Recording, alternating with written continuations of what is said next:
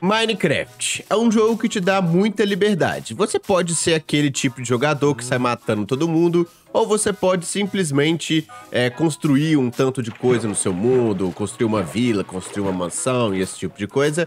Mas desde quando a gente aprende a jogar, existem algumas regras, né, que a comunidade sempre joga da mesma forma que eu não concordo. E hoje eu vou te falar sobre sete coisas que você estava errado ou errada no Minecraft. Isso serve tanto pro Minecraft Bedrock quanto pro Minecraft Java, beleza? Então segura os cintos, pega uma pipoca, pega uma aguinha e já deixa o like, se inscreve aqui no canal também, porque inscrito no canal já deixa o like bem no começo do vídeo. Então vem fazer parte dessa comunidade com a gente, porque todo dia às nove da manhã tem vídeo aqui no canal, seja de curiosidades, de novidades, de tutoriais, de muita coisa. Então, pra você ter um de nota mil, é só com o vídeo do Jill. Agora sim, bora lá. Uma das primeiras coisas que você faz quando você começa a jogar Minecraft é conseguir os seus equipamentos, né? Você começa ali pegando madeira, depois você vai pra pedra, depois você vai pra ferro, até você chegar na tão sonhada Netherite. Só que é o seguinte, quando você tem uma espada, por exemplo, qual que é o primeiro encantamento que você vai colocar nela? As pessoas sempre pensam o encantamento aqui de inquebrável ou de afiação. Afinal, você quer muito que a sua espada seja muito forte para te proteger dos mobs do jogo, como esqueleto, como creeper, como zumbis, como os afogados e todos os outros mobs, correto? Só que é o seguinte, é aí que começa uma coisa que eu acho que a comunidade só repete e não pensa direito sobre. Afiação 5 é um encantamento muito bom porque te ajuda a dar mais dano nos mobs. Por exemplo, olha essa afogadinha aqui, ó. A gente precisou dar dois dano nele, dois hits para ele morrer. Até porque a fiação 5 adiciona 1 de dano mais 1,5 vezes de dano por nível. Ou seja, pode chegar até a dar 15 de dano no Bedrock e 11 de dano no Java. Só que você tem que parar pra pensar que a maioria dos mobs do Minecraft, é, tirando aranha e creeper, são zumbis, são mortos-vivos, e julgamento te dá um dano muito maior. Por exemplo, olha essa afogada aqui. Vamos, vamos vir aqui dar um dano nele. Beleza, com um hit você conseguiu matar o mob. E você consegue matar vários mobs utilizando julgamento. E qual que é o lance do julgamento? O julgamento, ele aumenta o dano para mortos-vivos. Ou seja, toda vez que você dá um hit em um mob que é um morto-vivo, você vai dar um dano muito maior do que a fiação. Só que a maioria dos mobs que a gente mata, com exceção do Creeper e da aranha, como eu falei para vocês, são mortos-vivos. Olha só essa lista aqui. Zumbis, afogados, piglin zumbi, zoglin, o zumbi aldeão, esqueletos, strays, esqueleto withers, fantasmas e o próprio Wither também é um morto-vivo. Ou seja, se você quer matar os mortos-vivos mais rápido no Minecraft Bedrock ou no Minecraft Java, que você vai ter 20 de dano, cara, ó. Na aranha não funciona, mas a aranha é fácil de matar. E o Creeper também é fácil de você matar aqui e não tem muita diferença assim em relação ao afiação, tá? Então se você quer matar rapidamente os mobs do Minecraft, você vai usar julgamento 5 ao invés de afiação, porque é muito mais útil. Afinal, o julgamento 5 te dá no Bedrock ou no Java 20 de dano ao todo, enquanto o afiação dá 11 de dano no Java e 15 de dano no Bedrock. Beleza, Jill, mas eu não consigo matar creepers e aranhas, que é o que eu tenho mais dificuldade. Tá, galera, mas é o seguinte, você quer uma espada que serve para você matar a grande maioria dos mobs de uma forma muito mais rápida, principalmente os esqueletos que vão estar tá nesse vídeo daqui a pouco aqui, ou você quer uma espada que vai conseguir matar dois mobs, mas os outros você tem que dar muito mais dano do que necessário. Pensa nisso. Existe uma grande discussão da nossa comunidade que é qual é o mob mais irritante? Qual é aquele mob que mais te incomoda? Você quer ajudar o canal e ainda ganhar um real?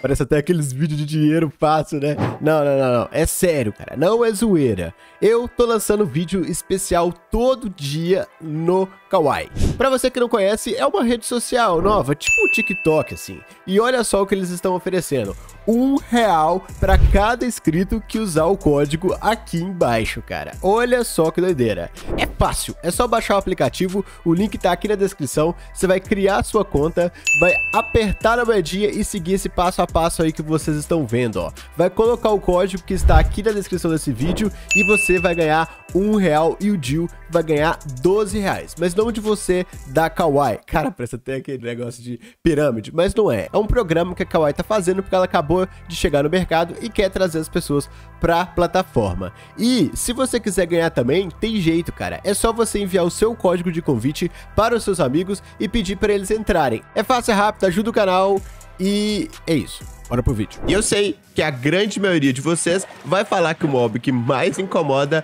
é o zumbi bebê. Afinal, o zumbi bebê, ele é extremamente rápido, ele vai ficar correndo atrás de você e vai te incomodar muito, né? Porque essa corridinha dele aqui é meio difícil de você conseguir fugir e você só vai conseguir fugir mais no Minecraft Bedrock do que no Minecraft Java pela velocidade que ele corre.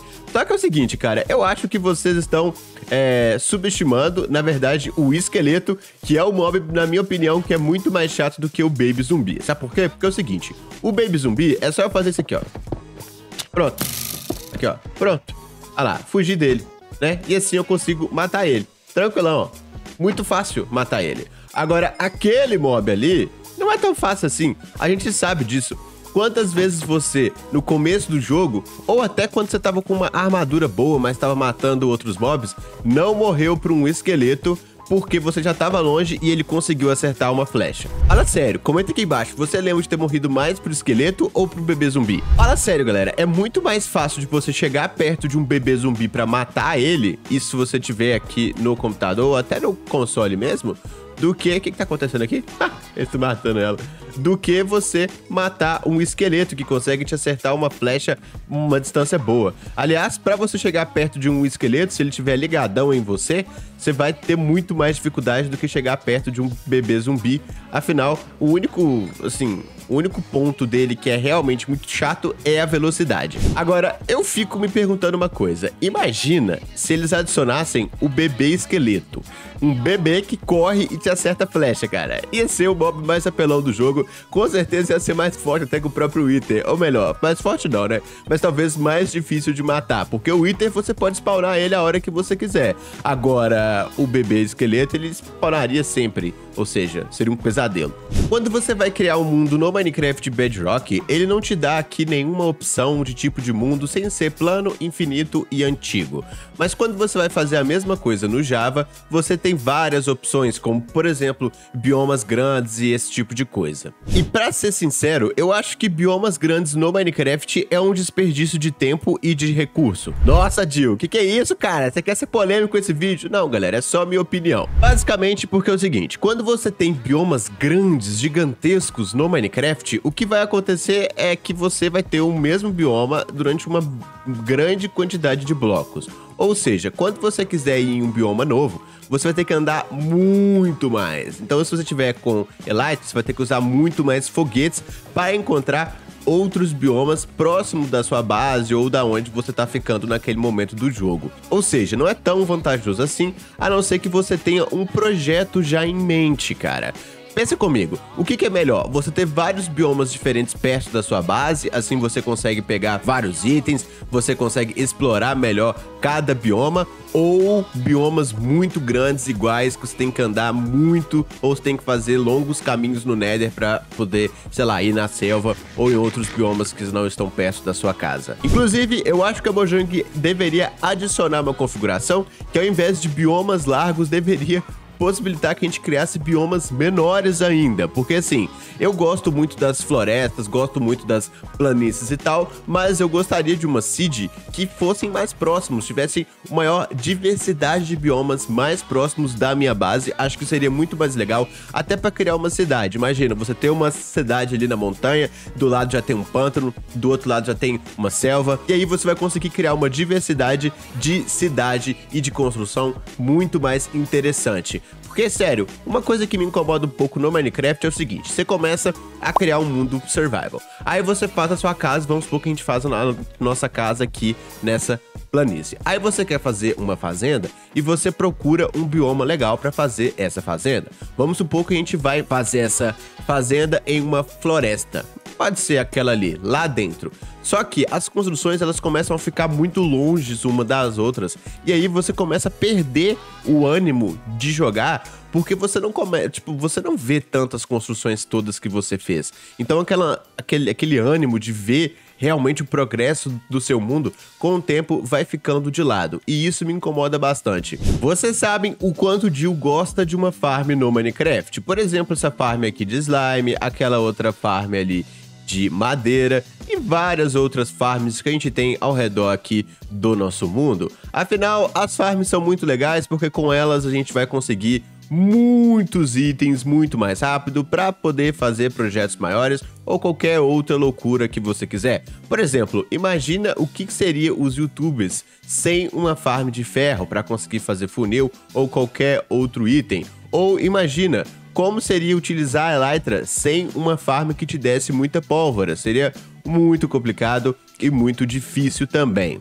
Mas uma coisa que eu não consigo concordar de nenhuma forma é a galera pensando que a farm é um fim, é tipo assim, um objetivo do Minecraft. E na verdade, galera, a farm, ela não é um objetivo do Minecraft, pelo menos não para mim, eu acho que não deveria ser para vocês, porque quando você faz um mundo, enche ele de farm, por mais que as farms sejam muito legais e você gaste muito tempo para poder fazê-las, e é legal sim ver elas funcionando, principalmente aquelas farms gigantes, é, as farms elas só vão te dar muitos itens. Então o que, que você vai fazer com esses itens é o que conta mais. Porque assim, se você for começar o mundo, fazer todas as farms e toda hora você recomeça o mundo, olha, deixando bem claro, eu não tô te dizendo como jogar Minecraft, tá? Jogue da maneira como você quer. Essa é apenas a minha opinião. Mas continuando, se você for ficar fazendo isso toda hora, além do jogo perder muita graça para você, o seu mundo vai ser um pouco feio, porque decoração é importante sim no Minecraft no final das contas, e todos os itens que você vai ter vão ser em vão, porque você não vai ter muita ideia do que fazer com eles. E Minecraft é um jogo muito complexo e tem vários objetivos, eu até anotei alguns aqui para eu não esquecer de falar com vocês, tipo uma base automática, cidades, fazendas, cavernas, vilas, parques de diversão e muito mais. Tem muito mais para ser feito, então farms só te ajudam a ter os itens mais fácil e mais rápido justamente para você poder fazer projetos maiores e não simplesmente para você ficar aqui, ó. Ah, eu fiz a farm, acabou meu mapa, agora eu tenho que começar um mapa novo. E já que a gente tá falando de farm, vamos pro próximo item que é o seguinte: Minecraft é um jogo feito pra gente se divertir. Isso é um fato, né? Então, Quanto mais coisas a gente faz pra se divertir no mundo, mais legal é o seu mundo, mais você vai querer jogar nele, mais você vai querer mostrar pros seus amigos também. E uma das coisas que eu acho que as pessoas exploram muito pouco no Minecraft são os biomas congelados. Sim, primeiro que esse oceano congelado aqui, ele é muito legal para você fazer uma pista de corrida, que foi moda durante muito tempo, mas agora ninguém lembra mais que existe. E segundo que, quando você tem um rio congelado também, é uma ótima maneira de você viajar no seu mundo de uma forma muito mais rápida e também fazer uma pista de corrida ou qualquer outro minigame. Cara, eu sou muito ruim nisso aqui. Mas imagina se aqui fosse uma pista de corrida, seria muito mais legal e muito mais divertido, principalmente com esses ursos, com outros mobs aparecendo aqui no meio também para atrapalhar, seria uma experiência muito mais divertida para jogar com os seus amigos. E às vezes é isso, a gente fica tão preso em farms e em construções que a gente esquece de fazer coisas que são realmente divertidas no Minecraft. Por mais que a gente se divirta fazendo farm e fazendo construções também, né? Lógico. Mas só que Minecraft é muito mais legal quando você joga com os seus amigos. E se você não tem amigos, tem a nossa comunidade aqui no Discord que eu te indico bastante. Mas provavelmente você vai conhecer alguém que tem sim Minecraft para jogar com você. E quando você chama essa pessoa para jogar no seu mundo, que tem vários minigames e tem vários projetos legais, acaba que o jogo tem uma vida útil muito maior. Ou seja, você vai se divertir muito mais. O próximo item da nossa lista são os escudos. Sim, definitivamente os escudos. Todo mundo que começa a jogar Minecraft ali fala, ah, você tem que fazer um escudo, o escudo é muito útil e tal. Marromeno, marromeno, marromeno. Eu não sei se você sabe, mas o escudo, ele é útil sim. Só que ele é útil em algumas ocasiões. Por exemplo, quando você vai lutar com o zumbi, você tem que ficar aqui agachado para poder usar o escudo. O que é uma coisa muito ruim, porque é o seguinte, imagina se vier outro mob atrás e você tá andando assim agachadinho, cara. Isso te deixa muito lento. E no celular e no console também, e eu posso dizer isso porque eu já joguei essas duas versões, eu não acho tão simples e prático de usar. Fora que quando você usa o escudo assim, ele não necessariamente vai te proteger, olha lá, contra todo. Olha lá, acabou de acontecer o que, eu te, o que eu te falei, ó. Ele não necessariamente vai te proteger de todos os ataques. E talvez a utilidade maior de um escudo é para o esqueleto e não para os ataques corpo a corpo. E o Creeper também vai te proteger um pouco, mas é sério, às vezes é muito melhor você sair correndo do que ficar lá tomando dano e esperando para ver se o Creeper vai ou não te gerar nenhum dano. Olha lá, olha o, olha o esqueletinho aqui, ó. Olha lá, muito fácil, que esqueletinho, bebê zumbi. Muito fácil matar ele, cara. Não sei porque vocês têm dificuldade. Mas enfim, o escudo, na minha opinião, no Minecraft precisa de ser modificado. Sim, eu nem acho que ele deveria te proteger mais, não. E até acho muito roubado ele te proteger 100% contra projéteis. Eu acho que ele deveria ser um pouco mais balanceado nessa questão. Mas para mim, o ponto mais fraco dele é como você utiliza, como você ativa, né? Seria muito bom se você pudesse usar o escudo sem se agachar porque te dá uma mobilidade bem melhor. Aqui, ó. Isso aqui é muito útil, ó. Inclusive até volta lá. e por último, mas não menos importante, a Mojang sempre lança jogos novos, como por exemplo Minecraft Earth ou Minecraft Dungeons, né? Inclusive Minecraft Earth foi tão bem, mas tão bem que eles até cancelaram junto. Eles já tinham cancelado outro jogo do Minecraft também recentemente, que eu não lembro qual era o nome. Mas o ponto aqui é o seguinte: a gente sempre fica muito feliz que a Mojang tá lançando um jogo novo, né? E esse tipo de coisa assim. Só que nenhum dos jogos que a Mojang lançou sem ser Minecraft são realmente jogos bons, jogos úteis, que você vai jogar e vai ficar feliz e tal. Minecraft Dungeons por exemplo, além de ser extremamente caro, porque toda vez que lança uma atualização, é, a gente tem que pagar para poder jogar, a não sei que você compre o PES lá, mas mesmo assim é muito caro. É um jogo que tem uma vida útil muito limitada. Isso porque é o seguinte: você, a partir do momento que você consegue armaduras muito boas, não é igual o Minecraft que você pode construir um tanto de coisa e ir criando o seu reino ou sei lá o que você pretende fazer, porque tem uns minigames também, né? Não, é um jogo que a partir do momento que você foi em todas as fases, já tem armaduras muito boas, acabou o jogo não tem mais muito motivo para você jogar, diferentemente do Minecraft. Então, assim, é... eu acho sim que Minecraft Dungeons ou qualquer outro jogo como o Minecraft Earth não faria um mínimo sucesso se não tivesse Minecraft no nome, tá? Para mim é uma tentativa da Mojang de ganhar mais, tá? Utilizando a franquia, que já é bem conhecida em inclusive um dos jogos mais jogados no mundo até hoje. Mas de qualquer forma, eu acho que como a Microsoft comprou a Mojang e o Minecraft é um jogo de muito sucesso, ela prefere ficar no comodismo, então lançar jogos que assim são cômodos, são dentro do universo do próprio Minecraft para poder aproveitar dessa, desse hype, do que necessariamente criar um jogo novo, tipo, que fosse realmente diferente do Minecraft.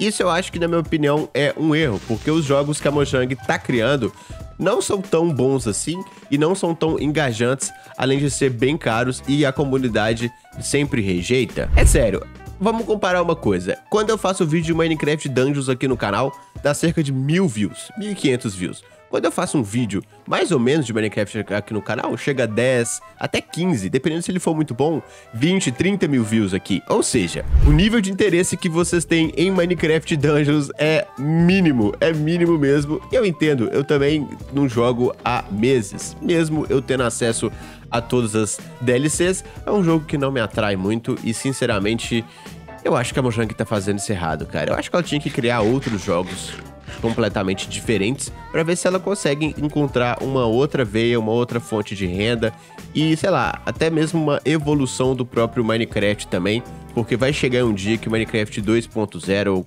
qualquer outro nome que seja, é, vai ser o próximo passo para nossa comunidade. Então é isso, pessoal. Então são essas sete coisas que você está fazendo ou pelo menos vendo errado no Minecraft. Lembrando que essa é a minha opinião. Eu quero saber se você tem uma opinião controversa sobre alguma coisa que a galera usa no Minecraft. Comenta aqui embaixo também, que eu quero saber, eu acho legal, eu gosto desse tipo de conteúdo. Se vocês gostarem também, não se esqueça de deixar o like, compartilhar esse vídeo e se tiver um bom feedback, eu trago uma outra parte, porque eu tenho várias opiniões bem controversas pra gente conversar sobre, beleza? Muito obrigado por ter assistido esse vídeo, lembrando que pra você ter um Direta Mil, é só com o vídeo do Dil, todo dia às 9 da manhã. Se cuida, um beijo, porque eu quero te ver amanhã, que é às 9 horas da manhã. Um beijo e tchau! Fui!